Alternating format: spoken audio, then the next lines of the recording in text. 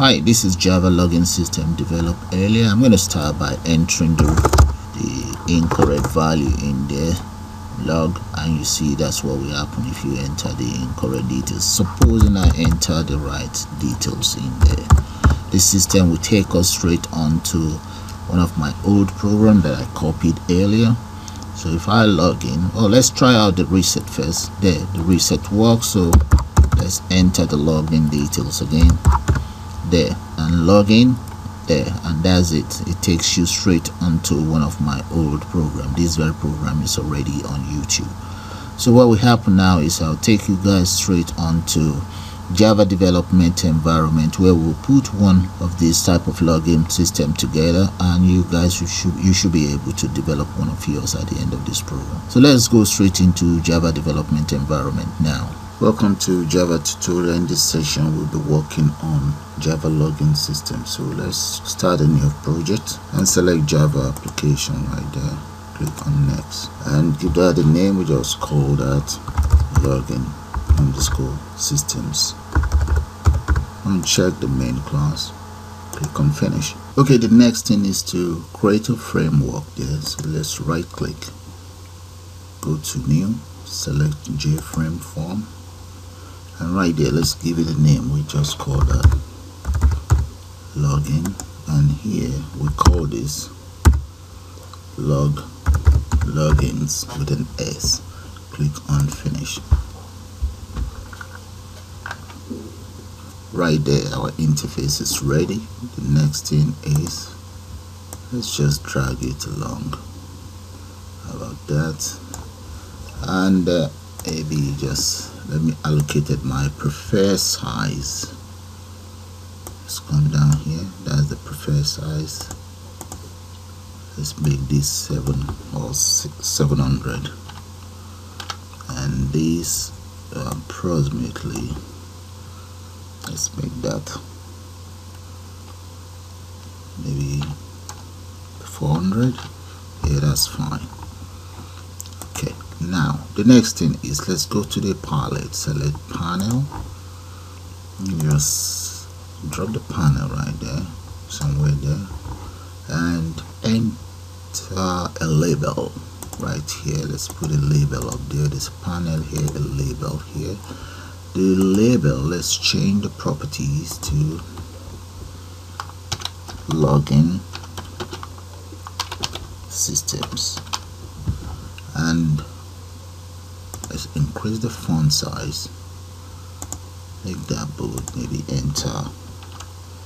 72 there okay we have a label here login system here. Now the next thing is let's change the properties of this login system of the panel. Let's come in here and change that to approximately let's give that 30 as the border style okay we have the border set to 30 and we also maybe enter another panel right there. Uh,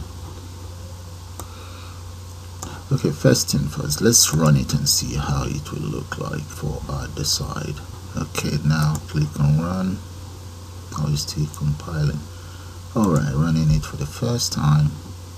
Yeah okay that's fine that's how it looks so I can now enter my my text box and username there. Okay let's come down here and select label. We have one label here. Another label right here.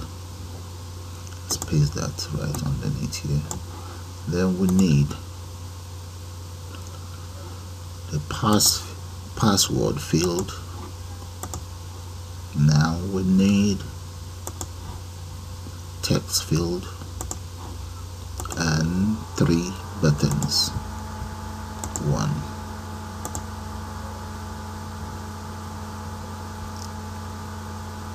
One more two more buttons.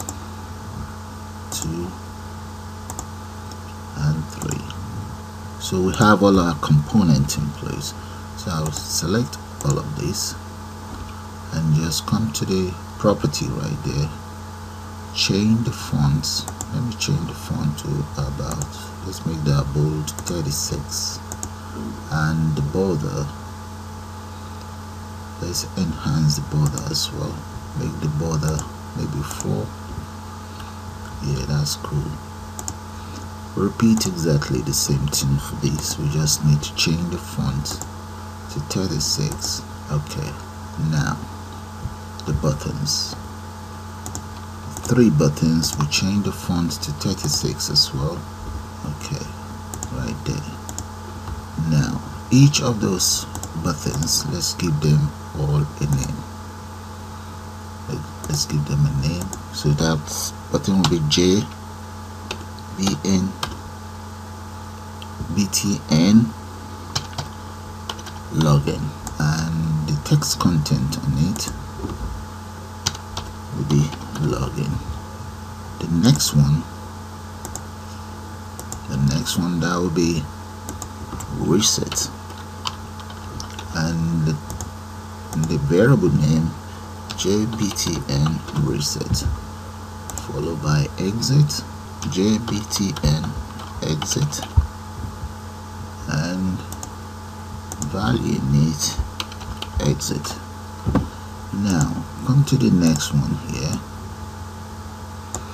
Okay that will be username. Let's change that to jtxt username. Let's make the name uppercase and the value in there. Get rid of that. Repeat exactly the same thing for the next one I'll just call that J password. Take off the field and come to the property here. Get rid let's get rid of this. The text in there you notice is all dotted out. Let's get rid of that. That's fine. So that is all there is to that design. They all have the name. Okay so the next thing is let's give these labels names. So this label we have let's call that username. The next label will be called password there. And let's just drag this out. Exactly the same thing for this. Maybe move them in. Okay let's take care of the exit button first. The exit button is system dot exit.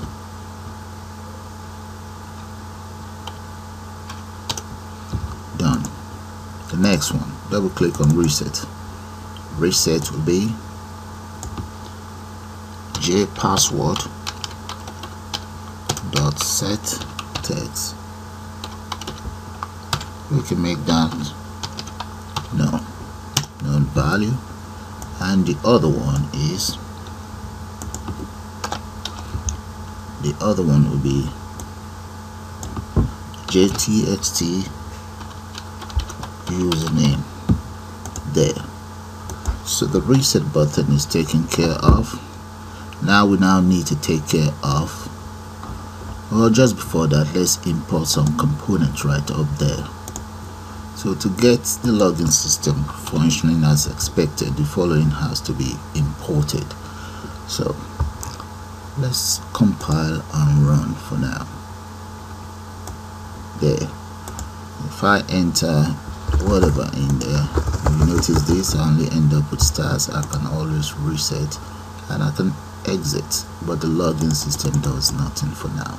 So exit so that is fine okay before I can get my system working let's double click on that. Right underneath here I would like to define the system exit procedure. That is it right there.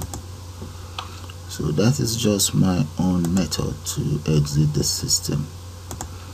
Okay. So before that can work you must make sure you have imported as follows which I've already done. There it is.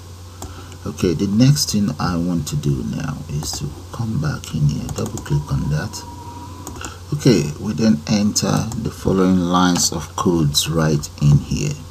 So as you can see I declare two string. One is to store the value inside the J password and the next one is to store the value inside TST username. Now I've used an if statement if password contains one and username contains king you can change those to whatever you like anyway. Then we want it to clear the system and system exit right here. You remember the the function that I created earlier on. So if I run it let's run it and see what will happen. And let's enter king right there and here we enter one. And let's just have a go. You see it works fine. Supposing we enter some random data in there. Okay nothing happens because I don't have a king there and I don't have number one here. Alright so that's fine. So exit. The next thing is before I can proceed I need to then import right here. I need to import. Let me import this very login. So import this very login but before then me create another frame. I need a second frame. Let's create one and let's just give it a name because when we log into the system that is the form that we have we want to log in into. Okay let's just call that login without login underscore s. Okay? Because we already have a name here called login so that gave us an error so let's just click on finish. We click on finish. So the next thing is to then import this very login. So let's just drag it. And just maybe let's enter some random data in there. So I have a label in there. So let's double click on our main login system which is this one double click on this and then go right up here to import. So we then enter as follows login dot log underscore s. So this is the new form that I've just created which is right here this very one. Okay I'm using the main name here to call this very form. So that is now imported and the next thing now is let's go back into the into our login. Yep right there. If I don't want you to get it mixed up right here. Right underneath here we now have a new method there. So let's take care of that. So officially what we were meant to do here was to call this very login. Where is it? Right here we're meant to call this. Okay? That is it there. That should have been an underscore so let's call that underscore and here underscore as well. So you see information that that's the variable. So we now set it as visible. Okay? So one two. So we will now use an else. But before that let's give it a try. Run it. Enter the right data in there. And click on login. Yep we have our form in place. That's good. Supposing supposing we enter the wrong data what will happen? The system nothing happens at all. So that's what we need to take care of now. Okay to take care of that we now need to use else if enters as follows. So else the system should display the following message. So if I compile run supposing we enter the wrong value in there that is displayed. When you click on this that means the system will be cleared and we can just enter the right data in there that's it it works as suspected. Okay that's fine. So I think maybe we should just modify these enter some or maybe copy some of my old program put it on it and make it look good. Apart from that the program is all finished now. So we'll do that now. Let's go to design. Come right in here select this. Okay let me delete this label let's delete it and copy one of my old system in there. Maybe I should go for the online one. Yeah so right click and just copy. And now let's go back into the login system. Right there. Double click on that very form and let's paste that in there. There we go. All right. So hopefully that should work. The next thing is there might be one or two errors so I know what that might be. So let me come in here before any error shows up. I'm gonna have to import you see all of these variables. I need to copy it those variables and uh, nothing was imported. Let's go back into my login now go to the source file. As you can see those variables were not imported so I'm going to put them right underneath here. So let's see was there any error? Because when you copy the program all of the data are copied as well but uh, what I've noticed is the variables will now be copied. Okay that is that. Let's save it and now compile and run the login system. Now let's run it. There we go. So enter the right details in the king and here that will be one. Click on login. There we go guys. Now we have our full login system. Let me just take you back into the login system anyway. But uh, there's one thing that I notice here because I don't have an exit button. That's nothing really. We can always just add an exit button onto this uh, online billing system. So let's do that here before I call it the end of this program. So maybe an exit button somewhere. Um, where is the button? Right here. Maybe just paste one underneath here. Get the font size. Let's just call that exit. And font size. That looks like maybe 24 30 okay maybe that's there okay that looks a little bit too too big. Let's change it.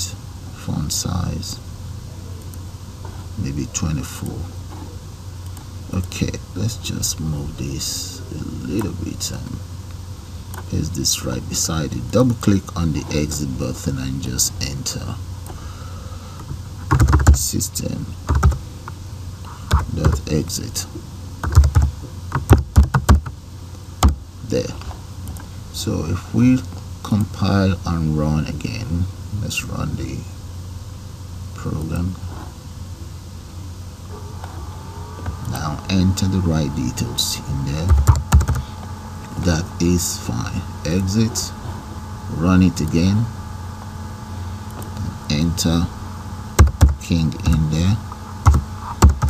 And come right in here. Maybe some errors in there. There we have an error so let's enter the right details in there. King and one there. We have our online login details. So guys that's how you develop your own login system. So with that i'm gonna call it bye for now